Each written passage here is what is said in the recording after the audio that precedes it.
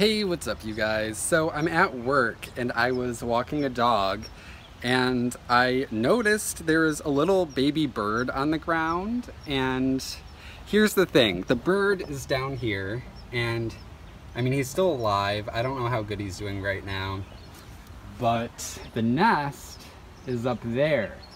I can't reach that and if you look, the nest is in such a weird place like if I went up there and tried to open it, the whole nest would fall out.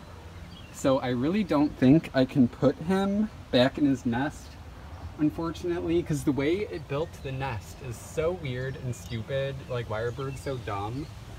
So I obviously can't leave him here on the hot sidewalk. So I'm going to put him in a box and take him inside and I don't know what I'm gonna do, but I'm gonna try to help him. So I'll keep you guys posted. Um, I wish they put the nest in a normal spot so I could just put him back in the nest. What the heck? Hello friends, so I'm back. I got off work and I took the bird in the box with me home to get a ladder so I could come back and try to put it back in its nest because I wanted to try putting it back in its nest. And here's my thing. Um, I came back with the ladder and I found another bird on the ground. So there's that bird, which is the one I just found, and then this is the one that I found from earlier. So I really don't know what to do because, um, like I want to obviously take them and help them, but it is illegal to take wildlife without being an actual like certified person to handle wildlife. And I obviously don't really know what I'm doing. Um, my friend Maddie, who is a wildlife rehabilitator, kind of told me what I could do, which is I would have to take them home and feed them like every two hours, which I can't really do. Um, so I'm thinking I'm just gonna put them back in the nest, which just makes me nervous because another one fell out. So I'm like, all right, are they just gonna fall out again? Like, what if they get even more injured then?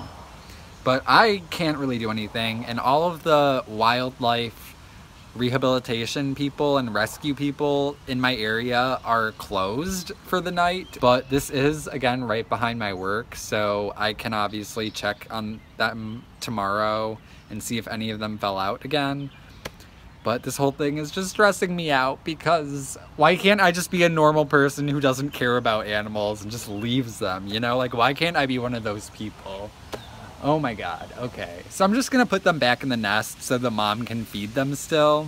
And I'll also check to make sure if any of them fell out again tomorrow. So yeah, I'll keep you guys posted on what happens. But first, I'm gonna put them back in the nest. So I'm just gonna put him in here really quick with his friend.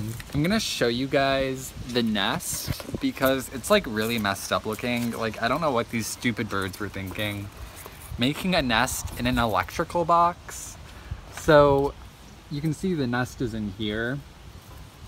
I'm just gonna gently open it. And like up there is where the birds are up here. There's two more in there and it looks really crammed.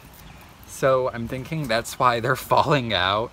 But again, there's really not much I can do. If they fall out again, they fall out again, but I'm gonna try to put them back and try to help them.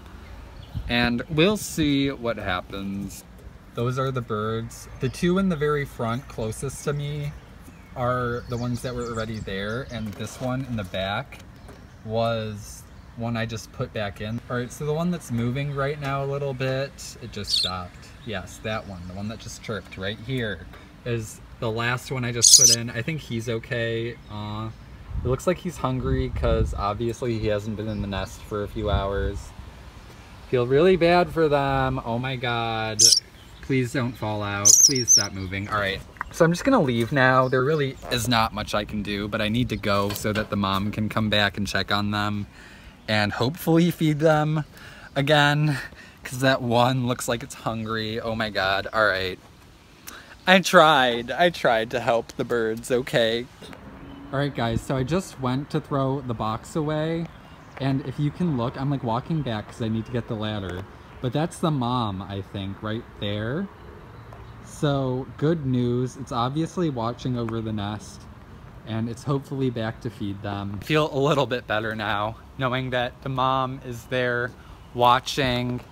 Thank you. But, oh, there she goes. All right, I'm gonna grab the ladder and leave now. Oh my God. Hey guys, so it's the next day. I went back to check on the birds in the nest and luckily today none of them fell out so I think I'm hoping they'll be good and they won't fall out anymore. Um, I hope they do okay because I don't want to have to keep trying to put them back in but yeah, I just wanted to give you guys an update. I think they're good now and the reason why I decided to film this and kind of tell you guys what happened is just so some of you know who might not already know what to do with a bird if you find it outside of its nest. The number one thing you want to do is try to find its nest and put it back in. You don't need to worry about the mother bird abandoning its young because of human scent because birds don't do that. But you do want to try to put the bird back in the nest because First of all, you shouldn't take a bird home because chances are you don't know what to do with a wild bird.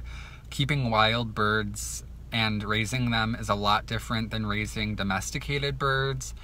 Um, you really do need to know what you're doing. So if you find a bird outside of its nest that looks really young and you can't find the nest, then you need to try and find a rehabilitator to take it in, like a wildlife aviary rehabilitator. Hopefully there's one near you that you can take it to or have come pick it up. And if there, for whatever reason, aren't any wildlife rehabilitators near you, then maybe then I could justify taking it home. But keep in mind that is illegal to take home a wild animal like that. So like under your own discretion, if you have no other options, you could take it home and do research and make sure you know what you're doing. Of course, if you're young, you want to get help from an adult. And at the very least, I would try to call a rehabilitator, at least in another state, somewhere else, and ask them what to do. Because, yeah, you don't want to just take home a wild animal and not give it the proper care and not know what to do and know how to raise it and release it back into the wild if you don't know what you're doing. So, yeah. Bottom line is if you do find a bird, just try to find its nest and put it back in its nest. That's the absolute best thing you can do for it. And I hope these birds end up being okay. I don't know. Or you could just leave the bird and not help it if you find one because it's not your responsibility, but I can't do that because I am not a normal person and I can't just leave a bird there if I see it. I can't just look away because I don't know, my conscience just doesn't let me do that. So, yeah. That's it for today's vlog. If you guys liked it, give it a big thumbs up. Subscribe to my channel. I post videos every week. Check out my social media. The links to those will be in the description below. And I'll see you guys in my next video.